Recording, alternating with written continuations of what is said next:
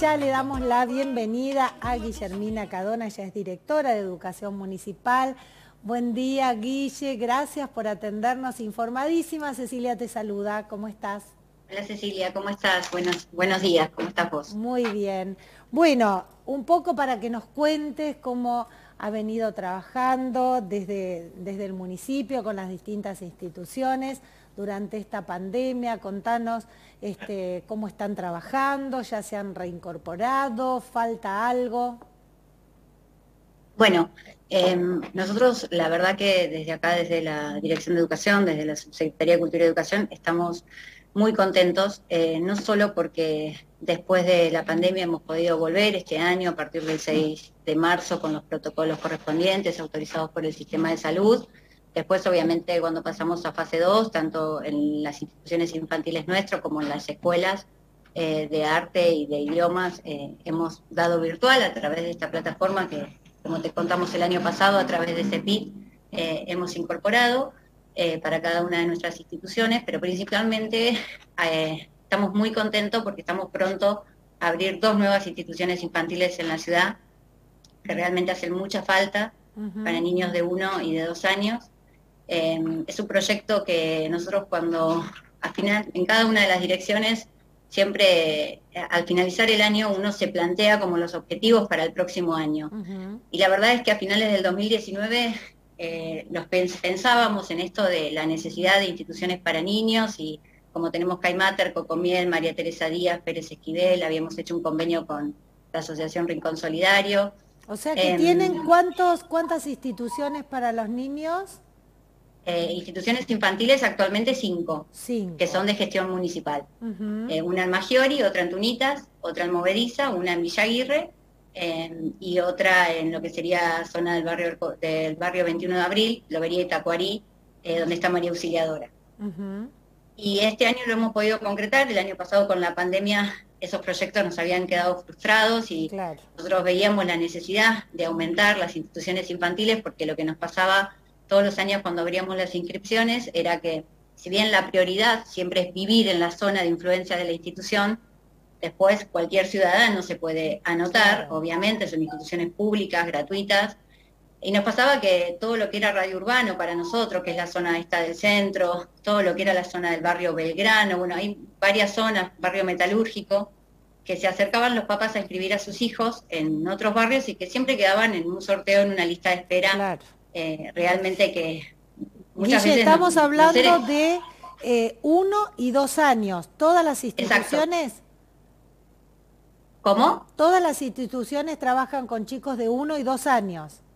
Eh, todas las instituciones nuestras actuales de gestión municipal, Caimater, Cocomiel, María Teresa Díaz y Pérez Esquivel, funcionan con niños de 45 días a dos años tanto en turno mañana como en turno tarde. En el convenio que tenemos con la Asociación Civil Rincón de los Niños, ahí solo tenemos sala de dos, em, que es un convenio de colaboración que firmamos hace dos años. Y, este año pudimos en el mes de febrero firmar un convenio con el Club Newbery, que la gente de la comisión del Club Newbery nos cedió em, un espacio hermoso que ellos tienen de más de 120 metros cuadrados para que el municipio pueda invertir, remodelarlo y hacer una nueva institución infantil gratuita para la comunidad. Eh, ya lo estamos pronto a terminar, creo que mañana me entregan las llaves. Em, así que hicimos la preinscripción. qué bueno, decinos la calle, Guillermo. Rodríguez, sí. al 1200, ahí va a funcionar Pamperito. Bien. Eh, Pamperito va a ser la nueva institución infantil de gestión municipal que va a abrir sus puertas a partir del 2 de agosto. Sí, ¿eso en qué, en qué, eh, de qué edad hasta qué edad? va a, contar con sala de 1 y con sala de 2, tanto en el turno mañana como en el turno tarde. Para lo que es Pamperito, nosotros el miércoles, este, ayer, hicimos el sorteo eh, para todos los preinscriptos que, que se habían anotado y a partir de ayer, desde el miércoles 14 hasta el miércoles de la semana que viene, hasta el miércoles 21, estamos haciendo una nueva preinscripción para la otra nueva institución infantil que vamos a abrir, Nélida Baigorria, que va a estar ubicado en calle Bransen 240. Ahí funcionó un maternal hace algunos años, seguramente lo ubicás, Cecilia. Funcionaba Barquito de Papel. Hermoso, muchos años estuvo ahí, un lugar precioso. Bueno, em, Barquito de Papel cerró hace dos años, eh, también eh, en el marco de todo lo de la pandemia. Y nosotros en el mes de mayo, finales de mayo, firmamos un convenio, o firmamos un contrato, en verdad, eh, de locación y estamos haciendo remodelaciones ahí. El jardín está adaptado porque ya funcionaba ahí un jardín, pero estamos haciendo remodelaciones porque después de un lugar estar dos años cerrados, obviamente que, que, hay que hacer cosas. Eh, y ya empezamos con la preinscripción porque la idea es que a partir del 9 de agosto esa nueva institución también abra las puertas. Qué bueno. Y ahí, em, donde era Barquito, que se va a llamar como... Nélida Baigorria. Nélida Baigorria. Nélida Baigorria, la verdad que em, es una mujer, fue una mujer muy reconocida, nosotros sentíamos que teníamos que hacerle un homenaje, toda su vida ha luchado por la educación pública, eh, fue quien llevó a cabo el famoso Plan Nacional de Alfabetización en la época de Alfonsín, em, fue docente, profesora de Ciencia de la Educación, de Filosofía, 35 eh, años frente al aula, siempre luchó por la educación pública, eh, y de calidad. Y, así que, bueno, el 9 de agosto, si, si seguimos en fase 3, obviamente, y todo lo demás, eh, vamos a abrir las puertas de esa nueva institución. ¿Y ahí en, en qué edades? ¿Para qué edades? Para, también para niños de 1 y de 2 años, al menos este año vamos a abrir sala de 1 y de 2, eh, tanto en turno mañana como en turno tarde.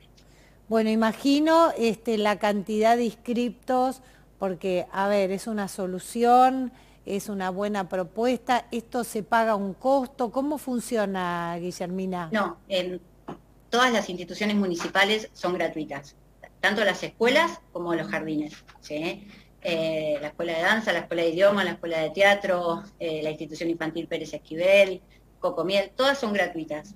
Em, y como ayer creo le decía a un colega tuyo, la verdad que em, ha tenido muy buena recepción en la comunidad. Yo creo que las instituciones educativas también ayudan a organizar a las familias, entonces, eh, digo, si bien eh, la importancia que tienen de que los niños puedan ir desde edad temprana a este tipo de instituciones, de que puedan estar con docentes profesionales tituladas que llevan a cabo una actividad que está marcada, que está programada, dirigida para una edad específica, que puedan compartir con otros niños, pero también hay una realidad y es que cuando los papás tenemos que salir a trabajar, poder contar con una institución y saber que nuestros hijos se quedan en una institución eh, que funciona y que, que están, aparte de aprender, están cuidados y que están con, con docentes y con profesionales, em, eso también ayuda y organiza las actividades de cada una de las familias y de las estructuras familiares, porque también lo que ha mostrado la pandemia es que cuando las escuelas estaban cerradas, siempre estuvieron abiertas y los chicos tuvieron clases, pero cuando los chicos no podían ir a las escuelas, también se provocó una gran desorganización familiar, que en la mayoría de los casos siempre hemos sido las mujeres las que teníamos que ver cómo lo solucionábamos, quedarnos en el hogar y hasta muchas mujeres que ayer me pasó con una chica que vino, me dijo, mira, yo vino a escribir a su hija y me dice, yo dejé de trabajar en la pandemia porque no tengo a nadie acá y no tenía quien me la cuide. Sí, Me dice, no, no cuento con nadie, no cuento con familia. Claro, muchas veces si pone a alguien a cuidar, como que cambian el sueldo también, son situaciones que se dan en el día a día. Vamos a recordar que estamos hablando con eh, Guillermina Cadona, ella es directora de Educación este, Municipal. Bueno, por un lado, la inscripción para estas dos nuevas este, sedes, estos dos nuevos lugares. Bueno, la inscripción para Pamperito ya se realizó. Bien. La inscripción para Pamperito ya se realizó y ayer hicimos el sorteo. Ahora lo que estamos haciendo acá en Colón 1118, que es donde funciona la Dirección de Educación, al lado del mercado municipal, al lado de bromatología, es la preinscripción para la nueva institución que va a abrir sus puertas el 9 de agosto en Bransen 240. ¿Qué hay que eh, llevar? desde, desde ayer hasta el miércoles que viene, el miércoles 21, inclusive de 9 a 2 de la tarde, los papás o cualquier familiar puede venir, retira una planilla que tiene que completar con todos sus datos y adjuntar, bueno, fotocopias del DNI del niño, el certificado de vacunas, pero se lleva la planilla la, puede completar acá o en su casa. Eh, y a partir de ahí nosotros ya el miércoles que viene cierra la, preinscripción y veremos si es necesario que tengamos que hacer sorteo, como nos pasó con Pamperito, o cuál va a ser la situación para comunicarlo a los papás. Bien, Por otro lado, te consulto porque también nos llegaban preguntas con respecto al personal docente o auxiliar que va a estar en estas instituciones. ¿Ya está cubierto? ¿Hay dónde inscribirse para alguna suplencia? Porque nos llegaron muchos mensajes también cuando te anunciamos. Bueno, nosotros acá en la Dirección de Educación contamos con un listado. Este año, en algún momento ustedes lo publicaron, hemos abierto un listado de emergencia. Eh, todos los cargos docentes son designados en base a ese listado. Eh, en este caso ya hicimos un llamado, ¿sí? Eh, han sido muchos los docentes que se han venido a inscribir y en base a ese listado, en base a un orden de méritos, se utiliza una tabla de valoración de antecedentes eh, del municipio, la Junta de Ascenso y Promociones, que está formada por la directora de los diferentes establecimientos y personal de acá de la dirección, eh, van analizando según el puntaje y quedan inscriptos todos los docentes en base a su puntaje y en ese a partir de ese listado es que vamos llamando. Bien, bien. Vamos a recordar entonces Colón 1118 hasta el miércoles 21 y el horario de 9 a 14. De 9 a 14. Vienen a retirar la planilla acá, la pueden completar acá o se la llevan para completar en sus hogares. Bueno, imagino trabajando mucho, con mucha expectativa para dejar ambos lugares hermosos como, como se merecen todos los niños, ¿no? Yo, em, la verdad que hoy lo hablábamos con Alejo, el subsecretario de Cultura y Educación, y le decía que realmente, eh, si bien es un gran desafío esto de seguir incorporando instituciones em, bajo la órbita de la Dirección de Educación, la verdad que la Dirección de Educación tiene un equipo que es increíble, y han estado en todos los detalles, porque cuando vos armas dos instituciones nuevas, por más que te entreguen la obra, es desde las mesas, las sillas, los pizarrones, los juguetes, las cosas de librería, eh, las alfombras, digo, todo lo que lleva una institución infantil, eh, computadoras, todos han estado en todos los detalles y llegaban y me decían, ¿sabes qué? Nos falta esto, ¿sabes qué? Nos falta aquello. Así que realmente ha sido un gran trabajo del equipo y vamos a estar muy contentos de poner las, dos en funcionamiento en agosto porque hemos trabajado mucho eh, para poder lograrlo. Qué bueno. Guillermina, te agradecemos muchísimo. Bueno, felicitamos en tu nombre a todos los que han trabajado en estos dos proyectos, que no es fácil, pero sí son muy necesarios. Eh, bueno, y seguramente tendrán en carpeta otras cosas más que después nos lo contarás. Gracias, Guillermina. Muchas gracias a vos, Cecilia, por ayudarnos a difundir y por dejarnos informarle a la comunidad también de la, la preinscripción de esta nueva institución. Muchas gracias. Que tengas linda jornada. Guillermina Cadona, directora de Educación Municipal, bueno, contándonos este, todo lo que vienen trabajando con las distintas instituciones, pero también, bueno, esta inauguración de este, dos lugares nuevos que vienen muy bien, sobre todo este, para la ciudad de Tandil. Uno ya está cerrada la inscripción, pero el otro está abierta, que es este, el, que está, el que van a abrir en Bransen, que se va a llamar Nélida Baigorria.